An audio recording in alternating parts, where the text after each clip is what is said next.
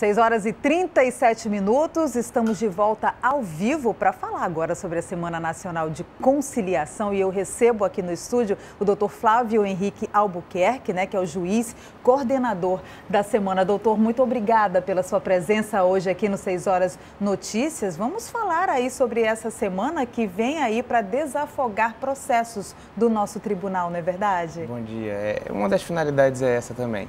Com certeza. Como que acontecem esses atendimentos aqui na nossa capital e também o pessoal do interior, todo mundo beneficiado, sim, né? Sim, na realidade isso, isso, já vem um preparativo de alguns meses, né? Todo, todos os anos já estamos na 14 é, edição, edição, da Semana da, da, Conciliação, ou seja, 14 ano.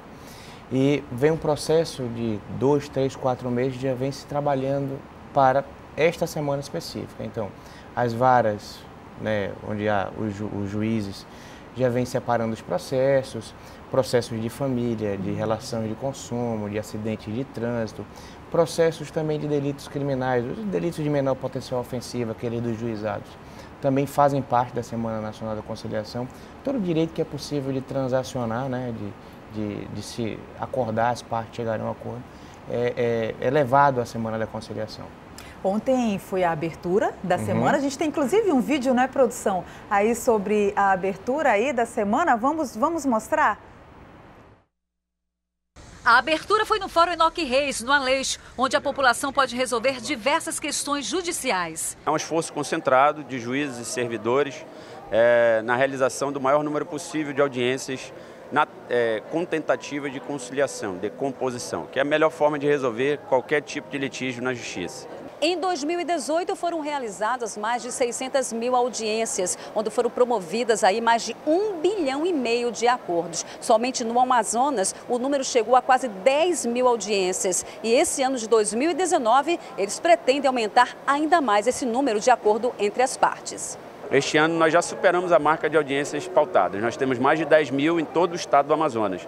Vamos aguardar então a superação dos, do, do, dos números de 2018 em acordos homologados. Para este desembargador, a ação é importante para incentivar acordos judiciais de forma rápida, pacífica e barata para as duas partes. Mas isso deve ser de praxe, independente da semana de conciliação. Eu já lancei nessa né, exortação e espero que a direção do tribunal né, faça essa nossa solução caseira, porque não, não é necessário que o Conselho Nacional de Justiça né, fizesse essa imposição. Todo dia é dia de conciliar. A Semana da Conciliação segue até a próxima sexta-feira. Para esse período, a pauta já está fechada, mas a qualquer época do ano, as partes envolvidas em um processo podem manifestar o interesse de acordo. Mais informações, acesse o portal conciliar.tjm.jus.br. Eu conversava aqui nos bastidores com o doutor Flávio Henrique e só no primeiro dia já houve um número extremamente relevante de atendimentos aqui no nosso estado, não é isso, doutor? Isso. Do número de audiências né, que estavam designadas, uma, é, mil, uma 1.802 ocorreram, né? Se, é, foram realizadas. Tinham mais pautadas, tinham mais designadas, mas às vezes as partes não são intimadas, não, não comparecem. Né? Então, em número de audiências, em números absolutos, na primeira instância, eu digo, nos juízes de primeira instância, não no tribunal, porque também houve designação de audiência de conciliação no tribunal, mas na primeira instância foram 1.802 audiências. E com um volume financeiro de mais de 2 milhões e 800 mil de acordos homologados. E os atendimentos acontecem todos os dias, né? É, a, qual porcentagem em média dos, de acordos firmados nessas audiências? Pois é, eu, eu consigo te fazer um comparativo do ano passado claro. é, para o que a gente pretende esse ano, né? Então, ano passado, de todas as audiências designadas, 35%, olha, 35% chegou ao acordo. E nós tivemos é, é, pra, na visão do, da corregedoria, na visão do, do, tribunal, já é um sucesso, né? Tudo aquilo que você consegue conciliar entre as partes, Sim. aonde o juiz deixa de ser o protagonista do processo, né? Eu sempre digo que o juiz lá no campo de futebol, quando aparece muito, é uma coisa errada. E aqui dentro do processo é a mesma coisa, as partes têm que ser protagonistas da, do seu litígio. Então elas têm que resolver. Quando elas resolvem, 100% fica satisfeito. Claro. Se é o juiz que resolve, pelo menos 50% vai ficar insatisfeito. Uhum. Né? Quando não 100, por uma sentença parcialmente procedente. Então, as duas partes não têm a sua pretensão atendida como pedido. Então, é, a conciliação é importante por conta disso. As partes passam a ser protagonistas do seu problema e da resolução do seu problema. E aí a gente tem é, uma satisfação de quase 100% daquilo que eles pretendiam, né? Porque eles comporam, eles conversaram e eles chegaram a uma conciliação. Essa semana é uma espécie de mutirão né, de justiça. Ela acontece apenas uma vez no ano? Ela acontece em outras ocasiões também, doutor? É, a gente pensa mais num esforço concentrado, Sim. né? Que tem essa conotação de mutirão. Não, na realidade, a, a Semana da Conciliação, essa semana que chama a sociedade para a visão de conciliar, de resolver o seu problema, de não depender do judiciário para a resolução de um, de um litígio, é, ela ocorre uma vez no ano, é, chancelado lá pelo Conselho Nacional de Justiça.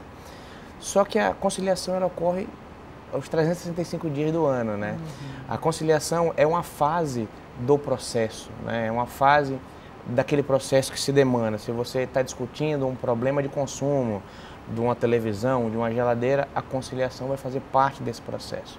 Né? Se você está discutindo um problema de família, uma pensão alimentícia, um divórcio, a conciliação vai fazer parte desse processo como uma forma de se solucionar sem esperar a decisão de, do juiz. Há uma expectativa de quantidade de processos a serem discutidos aí até a próxima sexta-feira?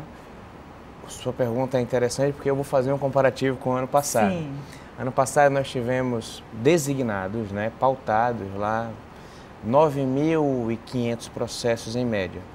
Esse ano só já, já foram designados em todo o estado mais de 10 mil processos para esta semana, só para esta semana. A gente tem muito, assim, em média, doutor, quantos processos hoje em, em tramitação? O senhor tem essa informação? Não, não tenho para lhe não, passar, né? mas, mas são menos, inúmeros. São inúmeros, mas pelo menos esses 10 mil aí há uma expectativa de que sejam desafogados, de que se, haja, né? Se a gente, se a gente conseguir, pois é, se a gente conseguir, é, e essa é a previsão, né? Pelo menos essa é a projeção, se a gente conseguir um número acima de 35% de acordos, como foi ano passado, a gente já está vitorioso, né? A gente já teve um avanço na solução dessas demandas.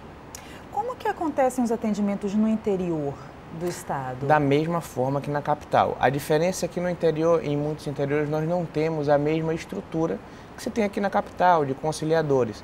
Mas tem um lado bom, que lá no interior é o próprio magistrado que faz a conciliação. Aqui pelo volume ser maior, essa divisão fica entre os magistrados, titulares das varas, e os conciliadores treinados para para a prática da conciliação, mas no interior não, fica exclusivamente com o magistrado e isso é muito interessante. É interessante, inclusive, que as pessoas podem aí resolver os seus problemas, as suas pendências próximo de casa, não precisa se deslocar até a capital. A justiça vai até, inclusive, é, na nossa região, que há uma particularidade em termos de distância dessa demanda do Verdade. interior, uma, é, é, diferente das outras regiões brasileiras, né, doutor? Sem dúvida. A, o estado do Amazonas é um estado-país, né? Sim.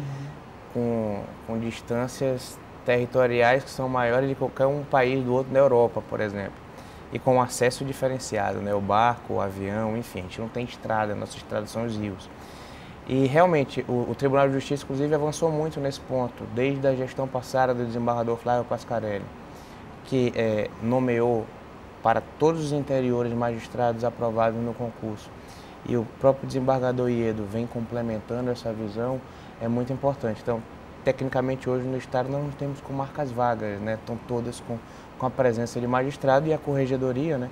Que é a responsável pela Semana da Conciliação através do desembargador Lafete Júnior, também tem fiscalizado e tem cobrado a presença do magistrado para dar esse atendimento à população um atendimento humanizado, né, Verdade. doutor? Desde já eu agradeço a sua presença aqui no 6 Horas Notícias. Alguma, alguma pontualidade ainda em respeito à semana, da, alguma consideração em respeito à semana da conciliação Sim, aqui no Amazonas? A gente, a gente pede que, eh, que todos que têm seus processos em tramitação, que estão na semana da conciliação ou que não estejam, mas que pensem é, na solução dos seus, dos seus litígios através da conciliação e da mediação, que é a melhor forma de se chegar a uma solução e uma pacificação daquele processo. Tá certo. O site aí está na nossa tela, né? Para você que quiser mais informações sobre a Semana de Conciliação, né? Semana que é feita em todo o Brasil. Aqui no Amazonas também não é diferente, tanto na capital quanto no interior do estado do Amazonas. Doutor Flávio, mais uma vez, muito obrigada. Um ótimo trabalho para o senhor e para a sua equipe aí. Sexta-feira vai ter bastante trabalho, com certeza, né? Verdade. Em nome da Corregedoria do Desembargador Lafayette Júnior, a gente agradece. Bom dia. Muito obrigada, doutor. Mais uma vez, um satélite caiu no interior do estado, assustando muita gente. Eu vou com a Bárbara Mitoso, que traz essas informações. Bárbara. Olá novamente, Mariana. Olha, dessa vez aconteceu no município de Jutaí, interior do Amazonas, onde inclusive tem um vídeo que viralizou nas redes sociais mostrando esse objeto que aparentemente é um satélite meteorológico de pequeno porte. Ele está caído, pendurado em uma árvore. As pessoas, inclusive, estão super assustadas, né, fazendo comentários sobre o que seria esse objeto, né? As pessoas não sabem ao certo. Inclusive, é, tiveram aí algumas pessoas que fizeram resgate desse satélite, desse suposto satélite, mas segundo moradores, eles não comentaram muito a fundo do que realmente teria acontecido. Apenas falaram que seria sim o satélite que estava fazendo um levantamento na área, teve uma pane e acabou caindo nessa área de mata que fica um pouquinho afastada do município. Isso aconteceu há cerca de 15 dias. Esse objeto está sendo trazido para Manaus, inclusive, mas ainda não se sabe é, a quem realmente pertence. Volto com você. Muito obrigada, Bárbara, pelas suas informações. Ao vivo, você vai ver a seguir a Embaixada da França no Brasil renova doações para apoio aos refugiados venezuelanos aqui na capital. São 6h49. A gente volta já.